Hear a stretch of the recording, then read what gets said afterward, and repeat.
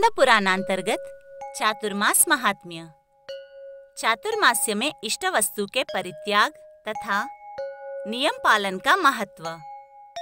ब्रह्मा जी कहते हैं, मनुष्य सदा प्रिय वस्तु की इच्छा करता है अतः जो चातुर्मास्य में भगवान नारायण की प्रीति के लिए अपने प्रिय भोगों का पूर्ण प्रयत्न पूर्वक त्याग करता है, उसकी त्यागी हुई वे वस्तुएँ उसे अक्षय रूप में प्राप्त होती है, जो मनुष्य श्रद्धा पूर्वक प्रिय वस्तु का त्याग करता है। वो अनंत फल का भागी होता है। धातु पात्रों का त्याग करके पलाश के पत्ते में भोजन करने वाला मनुष्य ब्रह्म भाव को प्राप्त होता है। गृहस्थ मनुष्य तांबे के पात्र में कदापि भोजन न करे। चौमासे में तो तांबे के पात्र में भोजन विशेष रूप से त्याज्य है। मदार के पत्ते में भोजन करने वाला मनुष्य अनुपम फल को पाता है। चातुर्मास्य में विशेषतः वट के पत्र में भोजन करना चाहिए। चातुर्मास्य में भगवान विष्णु की प्रीति के लिए गृहस्थ आश्रम का परित्याग करके बाह्य आश्रम का सेवन करने वाले मनुष्य का पुनर्जन्म नहीं होता। मिर्च छोड़ने से राजा होता है। रेशमी वस्त्रों के त्याग से अक्षय सुख मिलता है। उड़द और चना छोड़ देने से पुनर्जन्म की प्राप्ति नहीं होती। चातुर्मास्य में विशेषतः काले रंग का वस्त्र त्याग देना चाहिए। नीले वस्त्र को देख लेने से जो दोष लगता है, उसकी शुद्धि भगवान सूर्य नारायण के दर्शन से होती है। कुसुम्भ रंग के परित्याग करने से मनुष्य यमराज को नहीं देखता। केशर के त्याग से वो राजा का प्रिय होता है।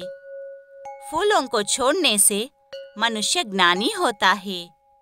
शैया का परित्याग करने से महान सुख की प्राप्ति होती है। असत्य भाषण के त्याग से मोक्ष का दरवाज़ा खुल जाता है। चातुर्मास्य में पर निंदा का विशेष रूप से परित्याग करे। पर निंदा महान पाप है। पर निंदा महान भय है।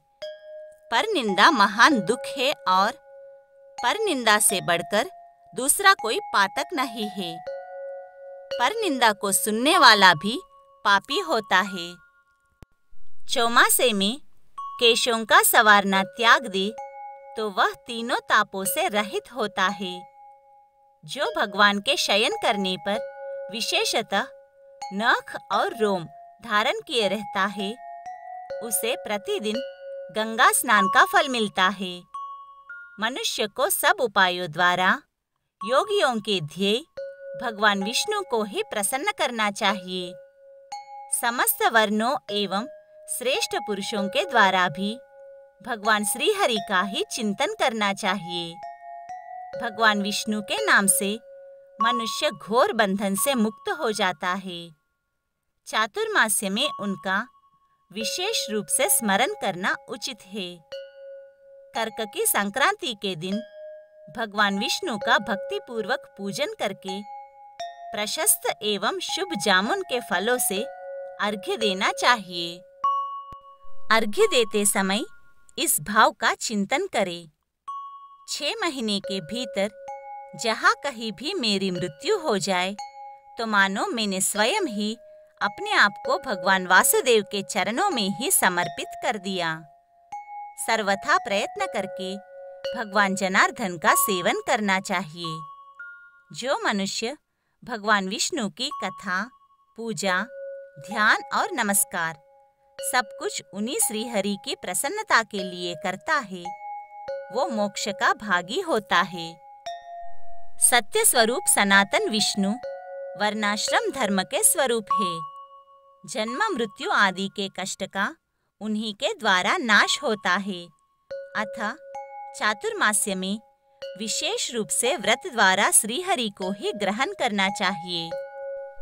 तपोनिधि भगवान नारायण के शयन करने पर अपने इस शरीर को तपस्या द्वारा शुद्ध करना चाहिए। भगवान विष्णु की भक्ति से युक्त जो व्रत है, उसे विष्णु व्रत जानो। धर्म में संलग्न होना तप है। व्रतों में सबसे उत्तम व्रत है ब्रह्मचर्य का पालन। ब्रह्मचर्य तपस्या का सार है और ब्रह्मचर्य महान फल देने वाला है। इसलिए समस्त कर्मों में ब्रह्मचर्य को बढ़ावे। ब्रह्मचर्य के प्रभाव से उग्र तपस्या होती है। ब्रह्मचर्य से बढ़कर धर्म का उत्तम साधन दूसरा नहीं है। विशेषतः चातुर्मास्य में भगवान विष्णु के शयन करने पर ये महान व्रत संसार में अधिक गुणकारक है, ऐसा जानो। जो इस वैष्णव धर्म का पालन करता है, वो कभी कर्मों से लिप्त नहीं होता। भगवान के शयन करने पर जो यह प्रतिज्ञा करके कि हे भगवान, मैं आपकी प्रसन्नता के लिए अमुक सत्कर्म करूँगा, उसका पालन करता है तो उसी को व्रत कहते हैं। वह व्रत अधिक गुणों वाला होता है। अग्निहोत्र, ब्राह्मण भक्ति, धर्म विषयक श्रद्धा, उत्तम बुद्धि, सत्संग, विष्णु पूजा, सत्य भाषण, हृदय में दया सरलता एवं कोमलता।